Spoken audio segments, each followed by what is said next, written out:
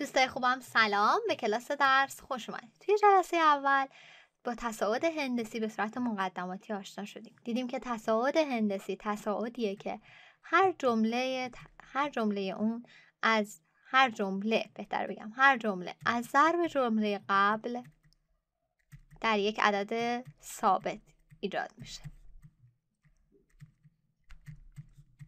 اسم اون عدد ثابت هم باز مثل تصاعد حسابی گذاشتیم.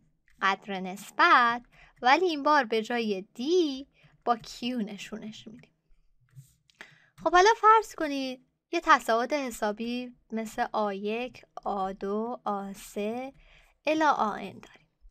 با توجه به این تعریف آ2 برابر با قدر نسبتمون ضرب در جمله قبلش که آ1 آ3 برابر با قدر نسبت ضرب در جمله قبلیش که آ2 و خود آ2 هم برابر بوده با Q ضرب در آ1 پس میشه Q ضرب در Q ضرب در آ1 که برابر میشه با Q2 آ1 و همینجوری می‌تونیم ادامه بدیم و به این نتیجه برسیم که آنمون برابر با آ1 ضرب در کیو به توان n های یک. نگاه بکنید اینجا که آ3 بود. N های یک میشه دو پس کیو به توان دو رسیده بود. ضرب در آ1 شده بود.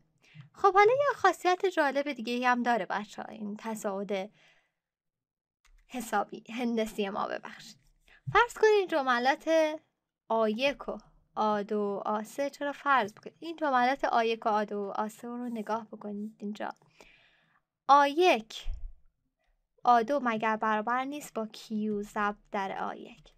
پس آ دو تقسیم بر آ یک برابر میشه با Q. از طرفی آ سه هم برابر میشه با Q ضرب در آ دو. پس در نتیجه آسه تقسیم بر آدو هم میشه کیو.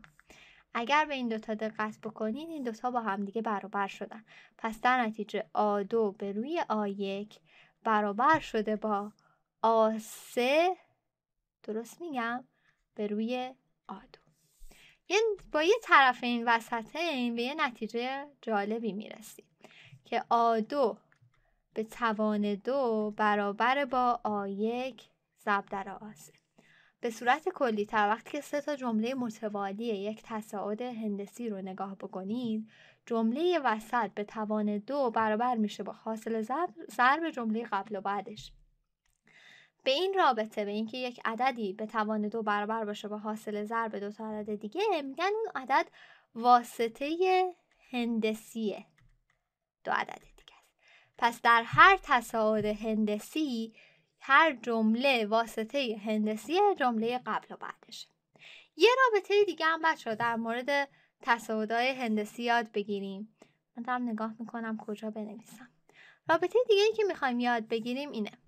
میگیم که وقتی که جمله آن رو داریم از تصاعد هندسیمون برابر میشه با آ1 ضرب در Q n وقتی جمله m داریم میشه آ یک ضرب در Q توان m منهای اگر این دوتا رو من تقسیم بر هم بکنم آ n تقسیم بر آ m برابر میشه با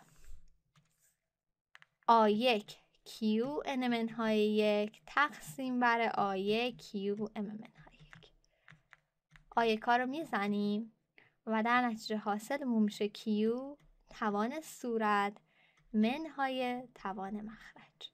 که برابر میشه با کیو ان منهای پس به این ترتیب ما اگر قدر نسبت یه تصاعد داشته باشیم می‌تونیم از روی اون حاصل تقسیم هر جملهش رو به جمله دیگرش حساب کنیم.